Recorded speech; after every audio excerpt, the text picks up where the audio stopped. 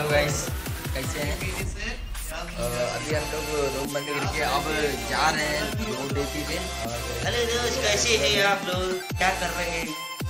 आइए अशफाक भाई बोलते रहते हैं बच्चे मुझे नहीं है ओटीपी पे जाने की।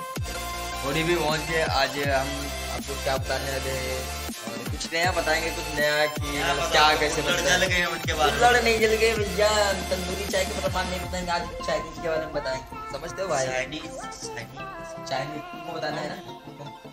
तो आएगा आएगा नहीं आप लोग को ही करना पड़ेगा बताना ही पड़ेगा। चलिए ठीक है गाइस चलते हैं और ओटीपी भी पहुँच के फिर बताते हैं हम आपको।